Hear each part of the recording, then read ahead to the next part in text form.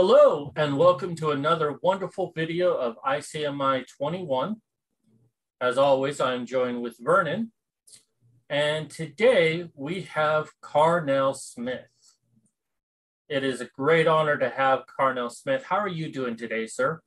I'm doing well, Chris and Vernon. How are you guys? Hey, it's uh, 2021. It's time to talk about ICMI. Indeed. I'm doing quite well myself. Glad so, for those who may not know, in case you've been living under a rock, Carnell Smith is a man that has changed the world. Like so many men went through the wringer when it came to a paternity fraud issue. Now, a lot of men, understandably, when they go through this, they just, you know, try to deal with the system. But Carnell said, no, system needs to change. And he dedicated himself to changing the system and even going all the way to the Supreme Court of the United States. I mean, they get choosy on the cases they do, and he was there. So, this is why it's such an honor to be with someone who is such an advocate for paternity fraud. So, my first question to you is before all of this happened, who were you and what were your thoughts on things like men's rights? Okay. All right. That's a great question, Chris. Before my discovery of being a victim of paternity fraud, like so many men and boys worldwide, I thought I was a father of two. I thought I was a dad of a son who I'd been separated with from by family court through parental alienation, and then the mother moved to an adjacent state, and I thought that relationship was over. And I thought I had a daughter with a former girlfriend because she said these seven words that no man wants to hear from an ex-wife, ex-girlfriend, or ex-fiance. I'm pregnant and you are the father. And when I heard that news, I said, like, well, I'll tell you what, I'm I'm going to take care of my child, but if you think that's going to get us back into another relationship, no. And that led to me discovering after 11 years later, it was all based on a lie. And if you want me to elaborate, the, the lie was this very simply this that she'd been involved with at least one other guy during her window of conception for the child and knowingly and willingly did not disclose that information to me. So let's think about this. So the rationale would be this why would a woman not disclose to a guy that there's one, two, three, or more possible candidates that could be the father of a child. And over my years of doing this as an advocate, as a legislative consultant, providing DNA services across the nation and, and in some cases involving men who were deployed around the world, I've come to discover a couple of common factors.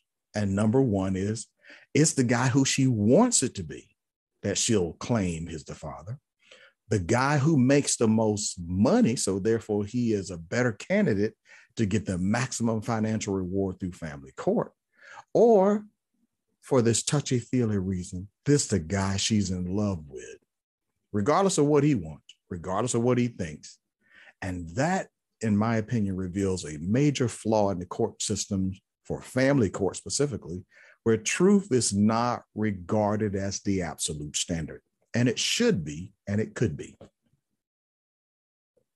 So, to the public, the prevalence of paternity fraud seems kind of way out there. It's like almost unbelievable. How do you explain to them that this is the sort of thing that's actually happening? Well, first, I would say over the years, the pushback that I get over my advocacy for paternity fraud victims is this is not really a major problem, is what I've heard in the United States and in several countries where I've been able to connect with men who are victims who want to advocate for legislative reform. And those people constantly say to me, it's a minor problem. It's really not that big a deal. We shouldn't do anything about it. We should look the other way. You saw that? Look the other as if that somehow changes a lie into the truth. And here's what we found out over a 10 year period in the United States, of over we found that over a million men and boys who have been tested, they were proven to not be the fathers of the children. Over 1 million proven by DNA testing that they are not the fathers of the children, in spite of what the mother said, who might be a wife, a fiance, a girlfriend, regardless of what her social status is in the relationship, somehow she chose to not reveal all the facts to the guy who she either wanted it to be or look, she has some other motivation, like could be financial reasons. Not too many married women will disclose to their husband that, oh, by the way, your brother, your cousin, and most of the marital party, you know, the, the best man and his friends all of them could be the father. She is usually not going to disclose that information to her brand new husband. And therein lies the problem. So when those people try to tell me it's not a big deal and it's a minor problem, I say, well, let's look at the data. Look at the fact that over the roughly 30% of those men and boys who get tested according to the American Association of Blood Banks. They have a annual family study, parentage study. It used to be called an annual paternity study, and for some reason they changed the name. Hmm. I'd like to know why make it harder when the majority of the types of, of relationship testing that goes on, a majority of that testing is paternity testing, trying to determine what man is related to a child, a, teen, uh, a teenager, a toddler, and in some cases, adults. Now, going around the nation, going around the world, so to speak, it has gotten so bad that a country like France has passed a law saying that the man can't even get a paternity test unless the mother gives her consent and permission. And that is absurd and illogical. Like the very person who has the incentive to lie, cheat, and steal, why would we ask her? Well, by the way, were you involved with anyone else during the window of conception? And if so, have you disclosed by a sworn affidavit to each of those men that you are one of the paternity candidates, as opposed to, I believe in my heart you are the father?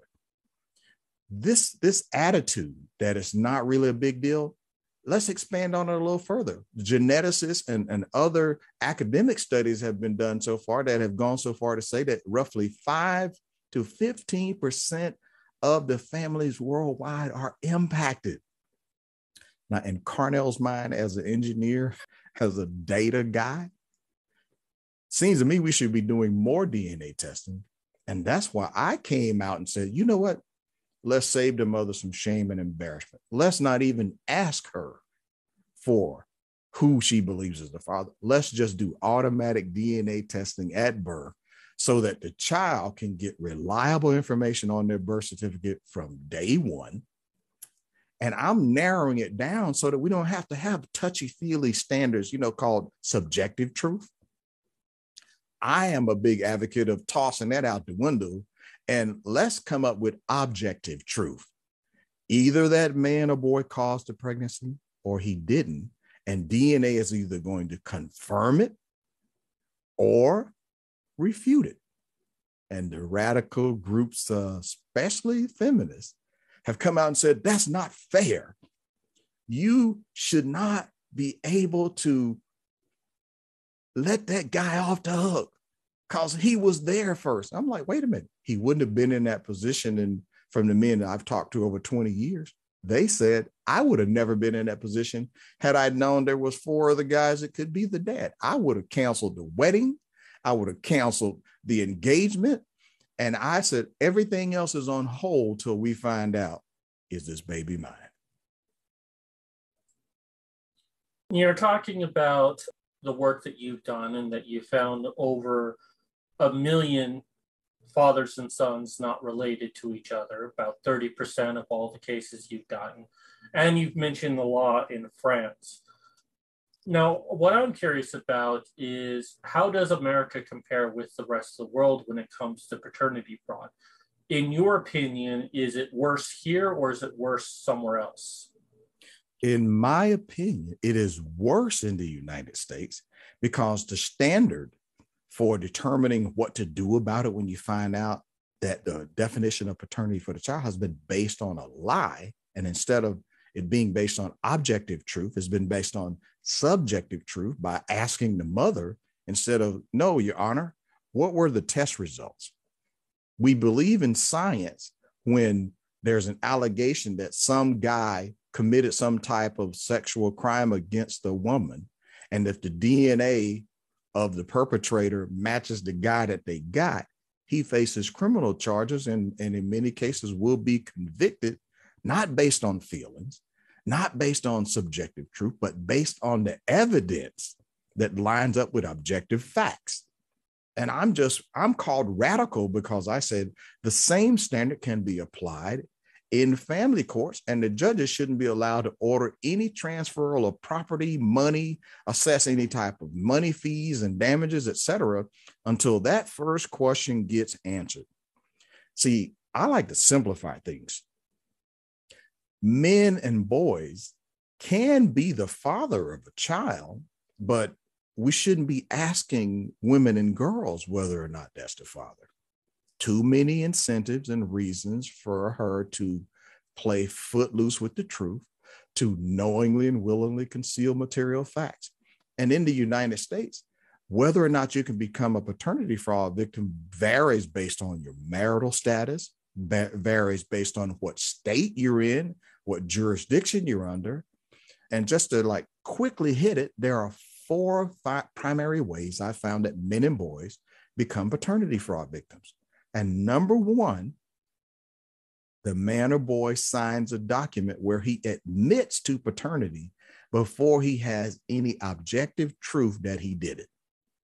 And it's called voluntary acknowledgement, or as Carnell likes to call it, a confession of paternity without proof.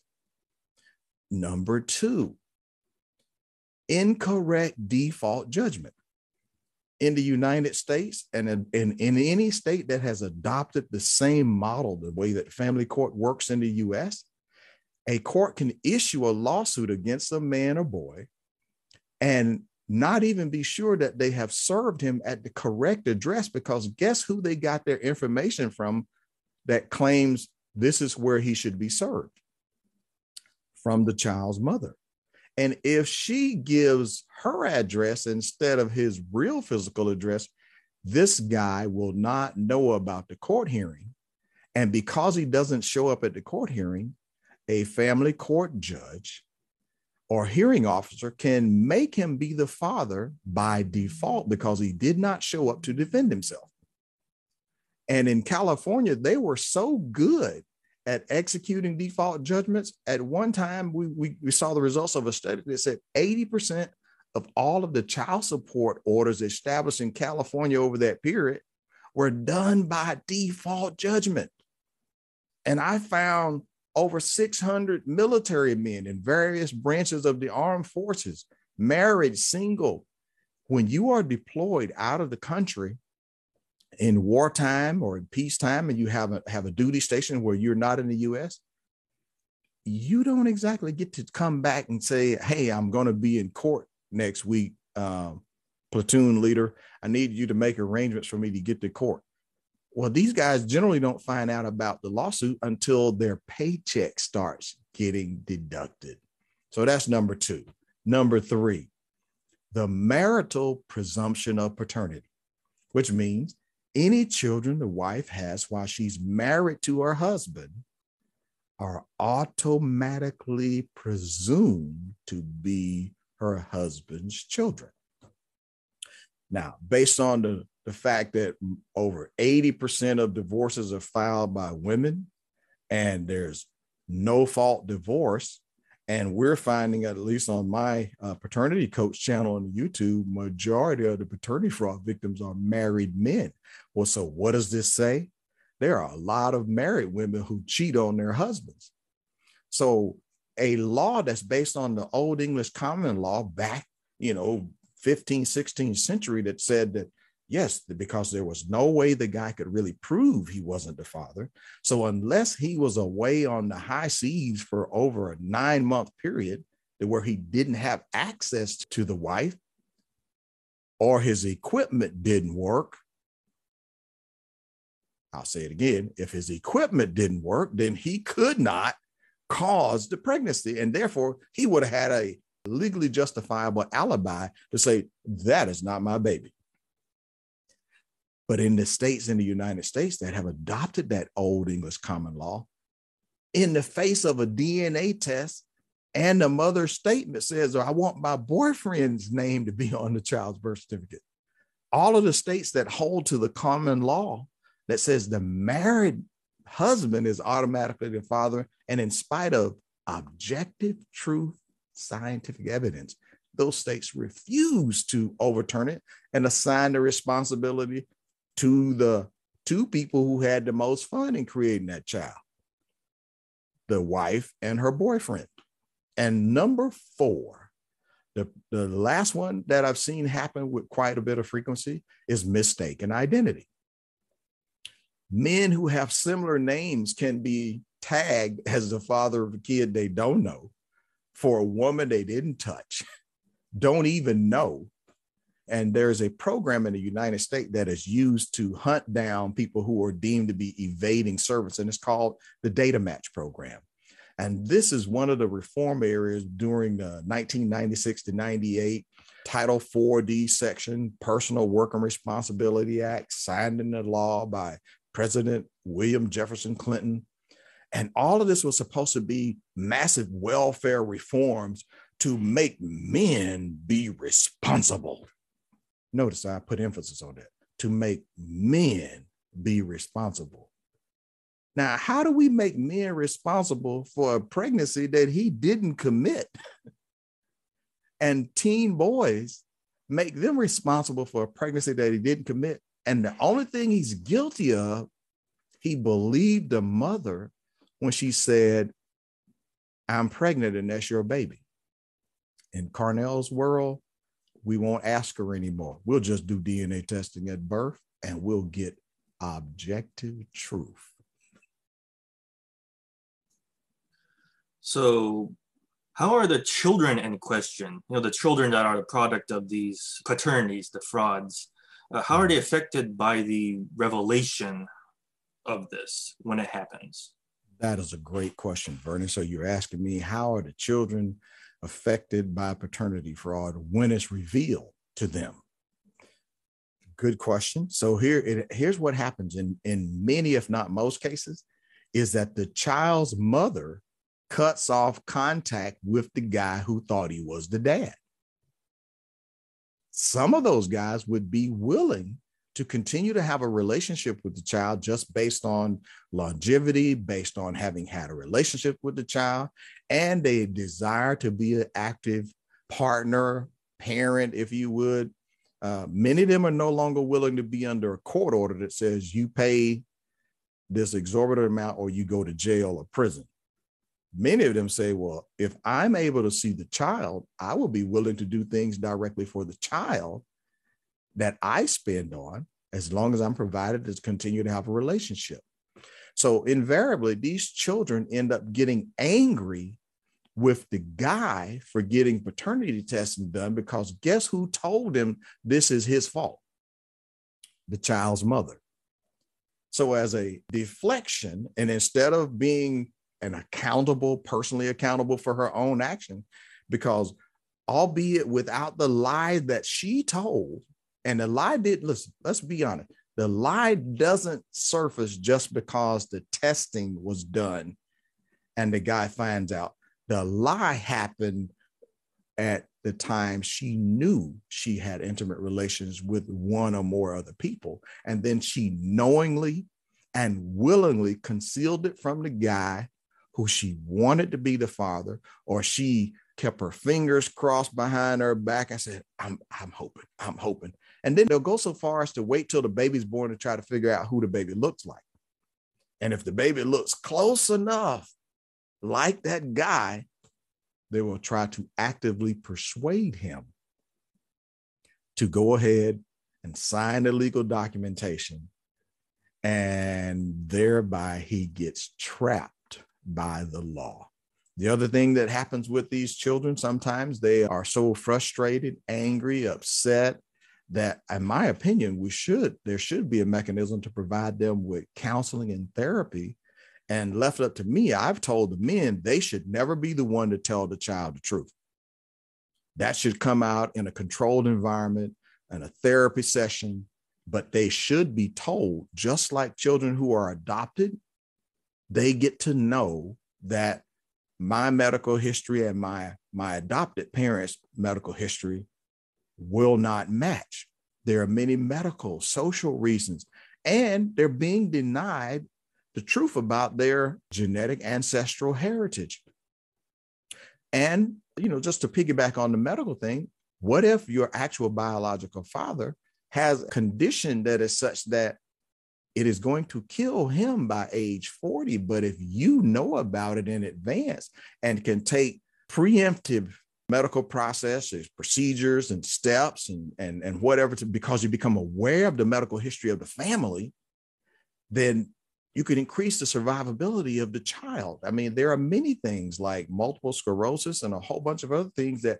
men didn't find out that the child wasn't his, not because he was looking for a DNA test, but because the child came down with a genetic disease that could only be carried by the biological mother and the biological father. So if two parents are carried a trait, the probability of the child developing the disease goes way up.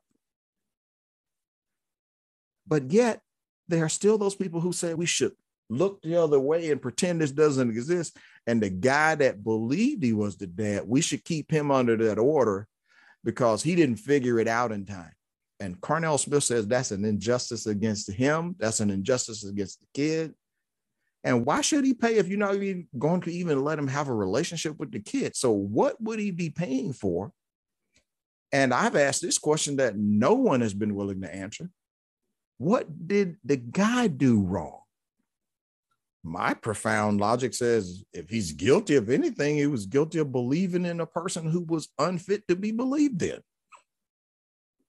Your experience within the court system and all the research you've done, why do you feel that the courts and judges are so against DNA testing? Why are they so against trying to find out who the actual father is? Instead, they say, okay, well, he's here right now, so he's the father, he has to suffer. Why does this court have this bias?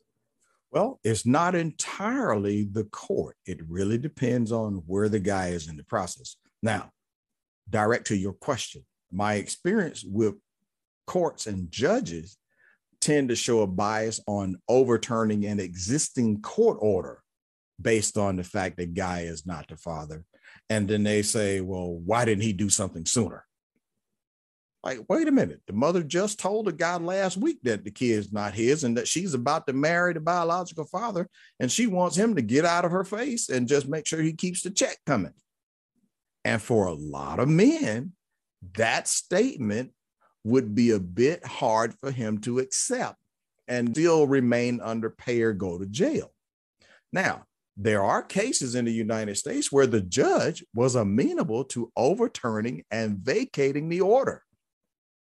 But the Office of Child Support Enforcement, which is funded by the Title 4D Section 458 in the United States, that provides a funding mechanism to provide funds for each state to run their child support enforcement money making machine. And that, that last part's from me. I call it a money making machine because that that agency has a tendency to be found under the structure of the state's Department of Revenue. What? Think about that.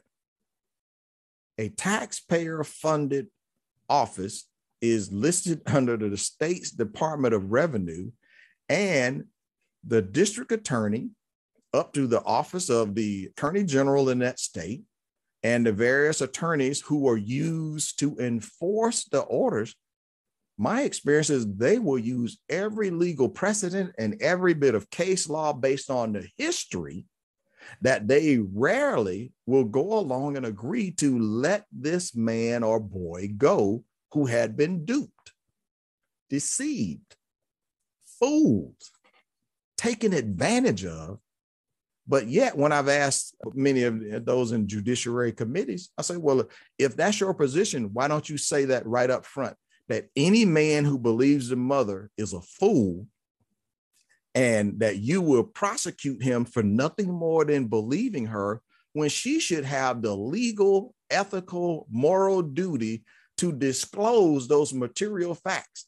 Because just telling the guy that there's five other people or one other person could be the child's father is enough of a notice to where men and boys I've talked to for over 20 years says there's no way I would have signed a paternity confession if that had been disclosed to me up front.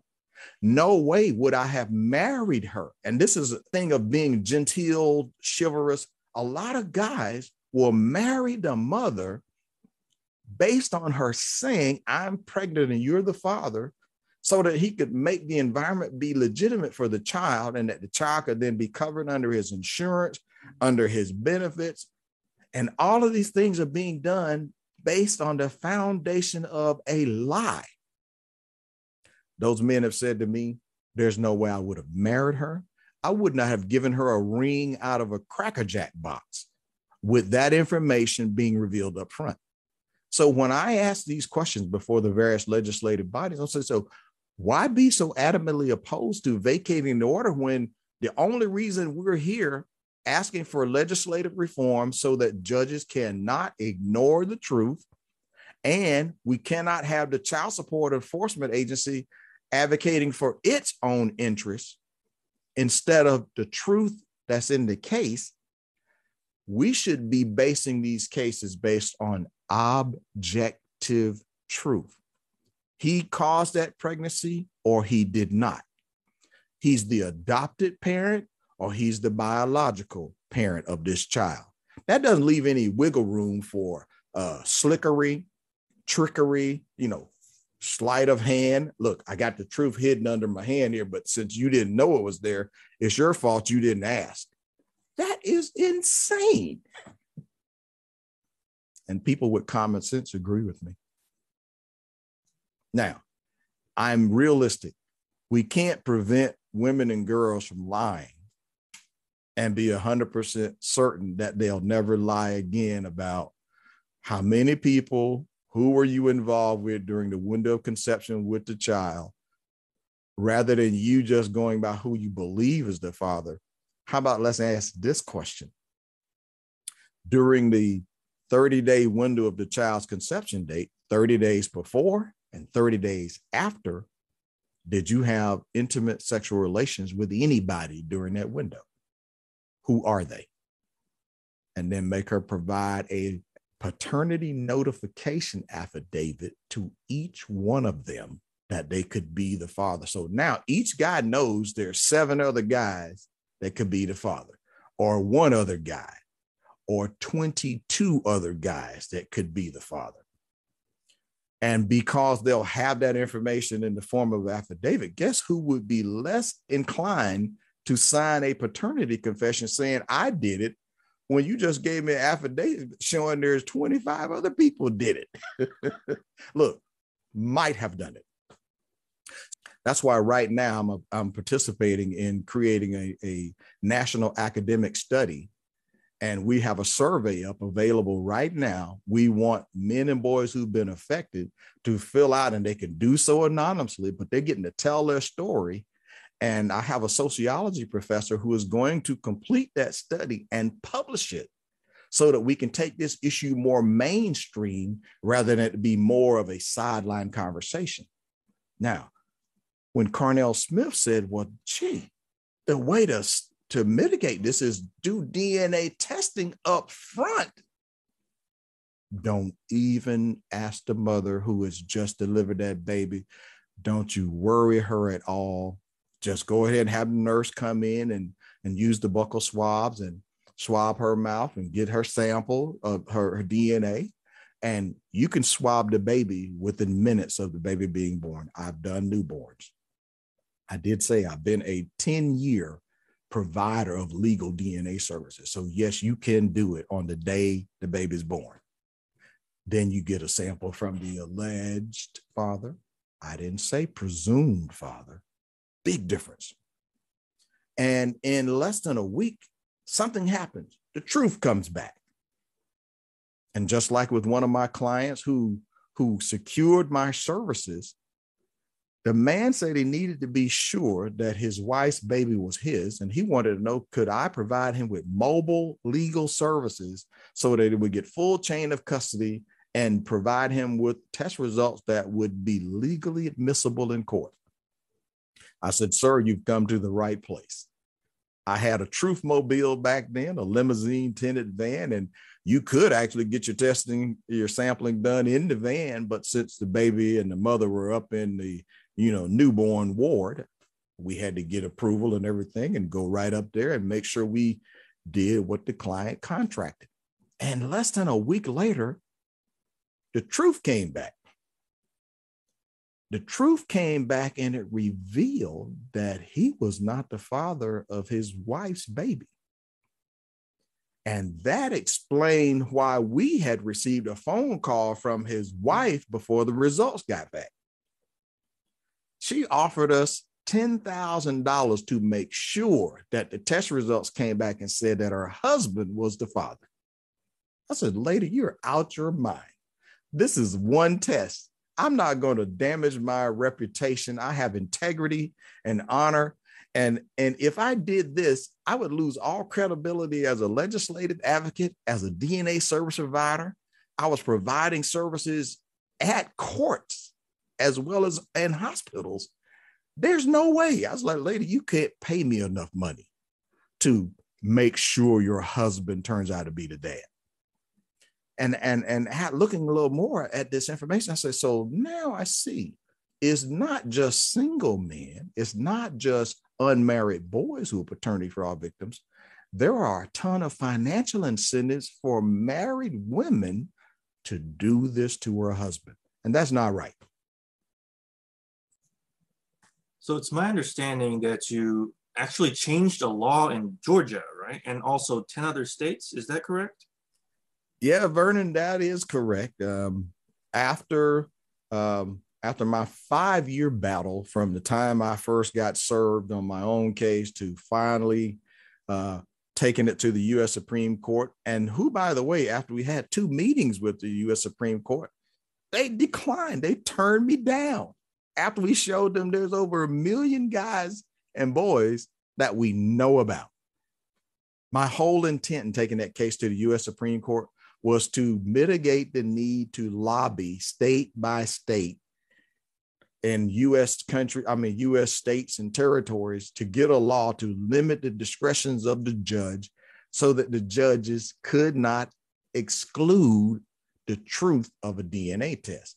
And the judges should not be allowed to prevent the man or boy from getting a DNA test when he has said, wait a minute, hold on, some facts have come up, some something has come up now to where I need to examine whether or not I'm actually related to the child.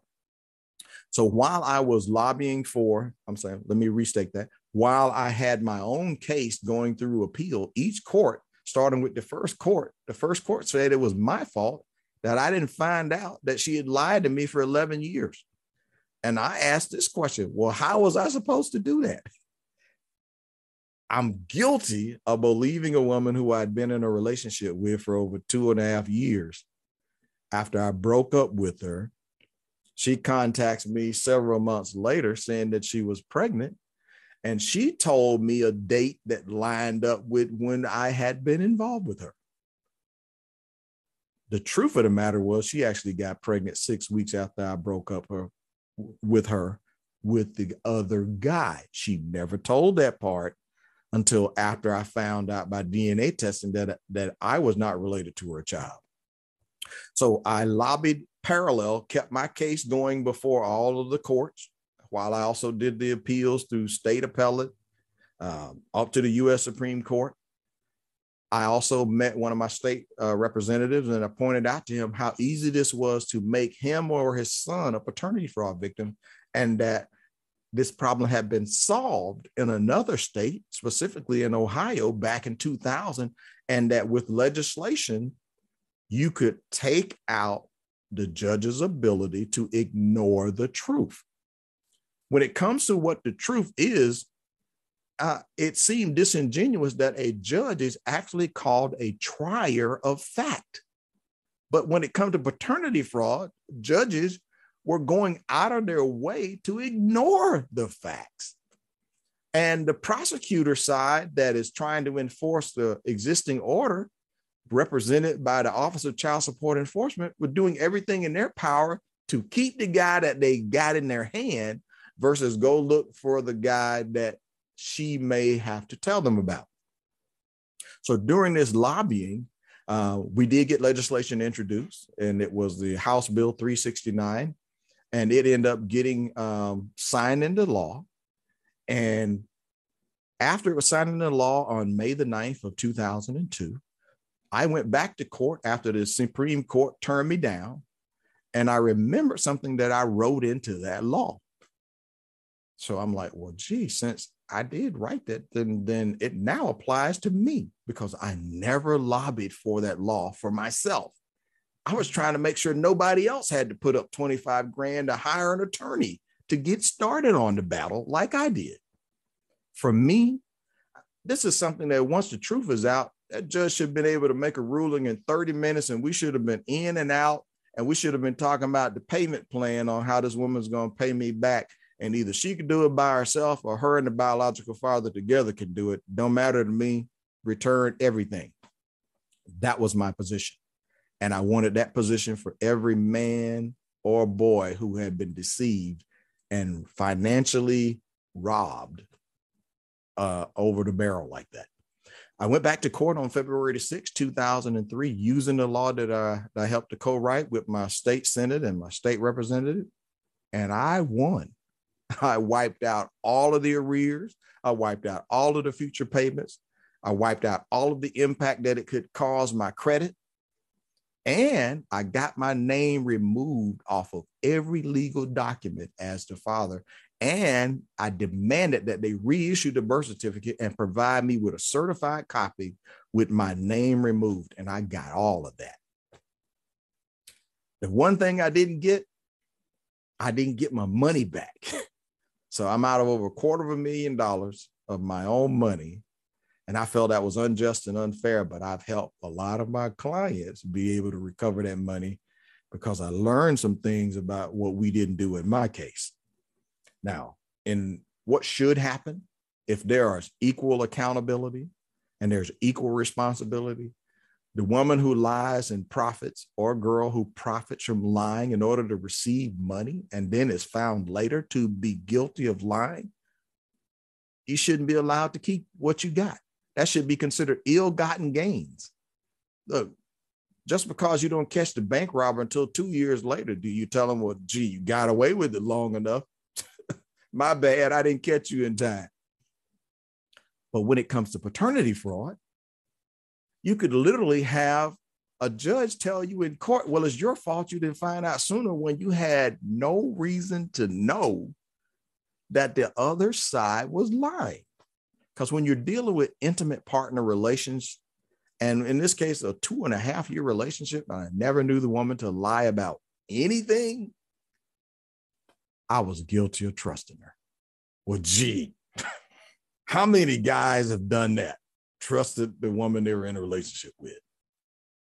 Hey, that that should not be a reason that we punish men and boys and make them face jail and prison. In Carnell Smith's world, which sounds like a wonderful place to live, should women be punished legally for lying about who the father is? That's a that is a phenomenal question, Chris. So, so should women be punished for lying? I when you say punish, I'm going to say it a different way. There should be consequences, and she should be held personally responsible for lies of omission and for lies of commission related to falsely um, indicting the wrong man or boy as the father of her child. She should have the primary duty of, as an ethical, legal, moral, and social duty to disclose that there's more than one person that could be the child's father. And if that guy has incurred damages, financial, as well as I say, he should be able to sue her for emotional distress, actual financial damages, punitive damages for loss of use of his money, legal fees, and etc. Because if there is a consequence for the actions, it will demonstrate to others that you can't get away with it, that there will be consequences, and you will not be rewarded. You will be held accountable. Look, there's a reason that bank robbers rob a bank. They rob the bank because they know that's where the money is. So, why do women and girls continue to commit paternity fraud worldwide? Because they have few to no consequences. That should be changed because in this era where we hear the statements about we want equal rights, I'm in agreement with them. We demand to have everything that the patriarchy has. I'm like, okay, fine, but that must include equal rights, must include equal accountability and equal responsibility. That means when you lie, you are responsible for your actions and there'll be consequences to go with it. If we as men are expected to make a full financial disclosure about our resources, so while you are determining what type of financial support we are responsible for after you prove the child is ours, then you should have also the equal responsibility to make all of the relevant material facts known in the beginning. You do you shouldn't get the you shouldn't get to hide behind P privilege. Uh, and you know what I mean by that. Or V privilege. You shouldn't be allowed to use your XX chromosome as a shield to protect you from having to disclose the truth and protect you from the consequences of your own actions. You say you want equal rights. All of the feminists should be on my side saying, yep, yep, all right, you're right, you're right. We want equal rights, then we must have the total package. The total package is equal rights, equal responsibility, equal accountability. Okay, so that's going to conclude our video today. I say this to so many of our guests, but I feel like I could talk to you for hours. You are a great speaker. You are very knowledgeable, and I definitely encourage people to seek you out. Um, I've got your book right here, one of the few books I've actually read. I do intend to read all of these books, but this awesome. one I have read, and I did like it. Well, so, thank you, sir. Buying this book, people. What are some other ways that people can uh, reach out to you or see some of your resources? Well, I'll tell you what, uh, I've I've simplified the right way to get in touch with me. Thepaternitycoach.com. T-H-E paternitycoach.com. That one link gets you to my Amazon link to where you can get access to Trap by Law, an ebook or paperback. Gets you to my website for my personal Carnell Smith site. It gets you to the national survey for 2021 where we want paternity fraud victims to talk about it, to tell it. Man, don't let this issue die in you to where you never got chance to tell about what happened, what went wrong, and help us bring about change. Because you need to do it, and you do it in a way where we can help. Maybe we can save some other men and boys from what you and I have endured. And it also provides you with my social media links to Facebook, Twitter, Facebook, and to my YouTube channel where you can see that um, I was actually on the Dr. Phil show with one of my married clients who was a doctor on staff at two hospitals, and his wife had an affair with a man of a different race. She tried to justify why my client should still be ordered to pay her $3,000 a month instead of the guy she worked with who made significantly less money than my client, the doctor. So to reach Carnell Smith, I'm the I'm the paternity coach. I'm the advocate consultant. Um, I actually help people who want to take the steps on on reforming the law because sometimes the law is wrong. That's what my very my my second attorney told me. He says sometimes the law is wrong. The facts of your case are right. The evidence is right. Judge ruled against you because it's been historical for them to just overturn it.